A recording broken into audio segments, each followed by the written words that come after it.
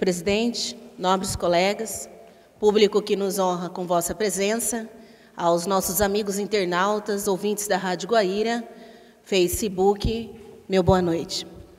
Eu quero iniciar aqui o meu uso da tribuna para que deixar os parabéns à comunidade do Parque Hortência e que esteve em festa no dia de ontem. Foi muito bonito, muito boa, organizada, bastante gente, lotou o salão. Então eu quero deixar aqui os meus agradecimentos a todos que foram é, prestigiar aquela festividade, bem como é, deixar os agradecimentos a toda a, a equipe organizadora que esteve lá durante o dia todo trabalhando, empenhado, então que mostrou que a união entre o bairro é fundamental e com certeza foi um êxito, foi um primor a festa do Parque Hortência. Esteve lá também o nosso amigo Oswaldino, Alessio, a qual aqui eu deixo os meus agradecimentos em nome. Você também? Eu não via no almoço. Ah, tá. E, então deixo aqui os meus agradecimentos, né, em nome do presidente Sérgio, que esteve tão bem empenhado para esse acontecimento.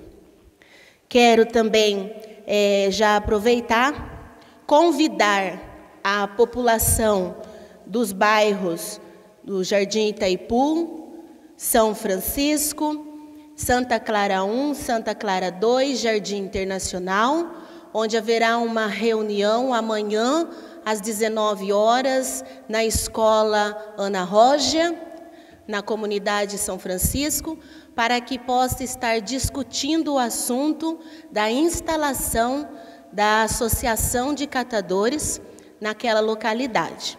Eu estive lá semana passada, é, convidada por uma moradora. A gente viu que aquela comunidade elas não querem, né? Esta instalação ali. Estou aqui frente com o presidente do bairro, Lau, onde tem diversas assinaturas contra a instalação dessa associação.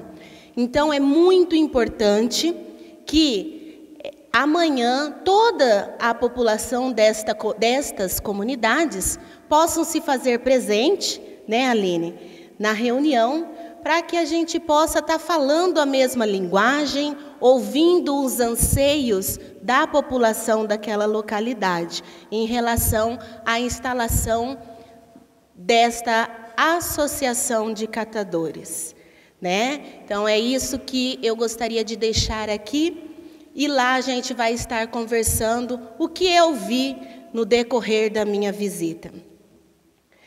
Em relação aos ecopontos, também eu gostaria até de agradecer à Secretaria de Infraestrutura, né, que colocaram duas placas, uma no Parque Hortência e outra no Jardim Zebalos, embora sem a permissão dos proprietários da, da, da, do lote, né?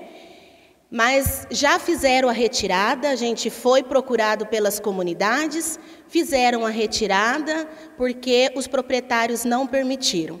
Tinha sido acordado aqui em reunião que isso não voltaria a acontecer, no entanto, eu não sei o que houve, aconteceu de novo, mas já corrigiram o erro.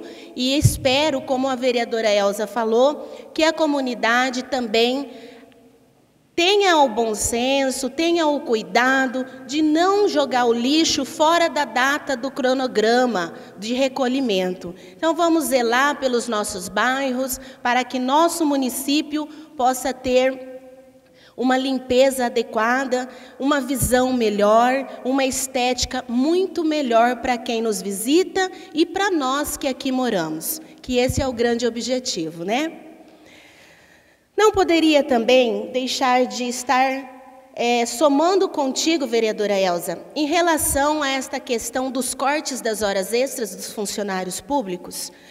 Eu também recebi este ofício circular, achei uma discordância da lei, prefeitura que sempre rege, né, em cima da lei, em cima da Constituição, deveria então iniciar seguindo o artigo, né, da Constituição Federal 169 no parágrafo 3 e 4, que diz que o primeiro passo quando extrapola o índice é cortar os cargos comissionados para que volte à normalidade.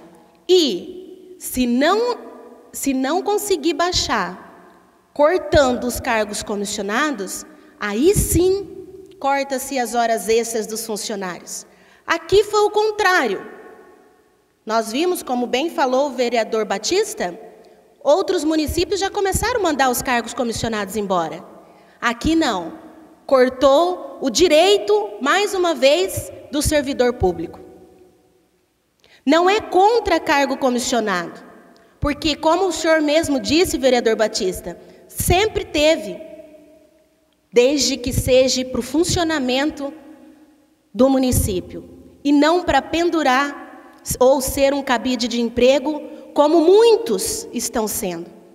Nós estamos vendo departamentos tendo que abraçar outros departamentos, cobrir serviço de outros departamentos, porque aqueles cargos que estão ali nomeados não estão fazendo o serviço deles.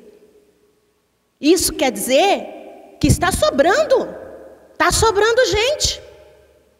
Se tem departamento que está sobrecarregando, é porque o outro não está fazendo. E se não está fazendo, meu amigo, seja educado, pega o teu boné, vai para a tua casa descansar. Não ocupa a vaga de quem precisa trabalhar. Nós aqui falamos tantas vezes durante a discussão desse organograma mas foi falado até que, se não desse, voltaria o contrário. E agora, nobres vereadores, nós estamos vendo que o índice extrapolou, nós não estamos podendo contratar médicos, enfermeiros. Os médicos, conversei com o canhoto aqui aquele dia na reunião, porque o índice está estourado. Professores, sábado, domingo, na festa, fui parada por uma mãe porque o filho dela está sem professor, sendo coberto por estagiário em sala de novo e pela coordenadora, revezando. Então, voltamos à discussão que foi aqui falado. Se não der certo, vamos rever. Está na hora, nobres colegas, de nós revermos a questão. Acredito que muitos aqui que votaram a favor acreditou, como bem diz o vereador, que isso não iria acontecer, mas aconteceu. E algo tem que ser feito. E que não seja mais uma vez prejudicado o funcionário público. Porque toda vez está acontecendo a corda arrebentando para o lado mais fraco, que é o funcionalismo público. Nós vimos aqui no dia do organograma cargos comissionados enquanto nós votamos contra, rindo, como agora, rindo da nossa cara. E agora? Você vai rir quando o prefeito te dá as contas?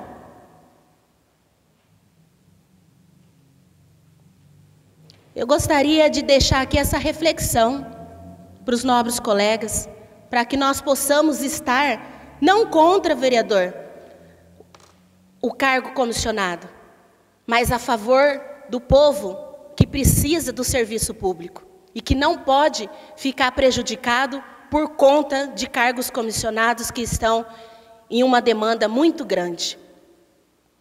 Gostaria também de estar falando sobre minha indicação. Peço já um minuto.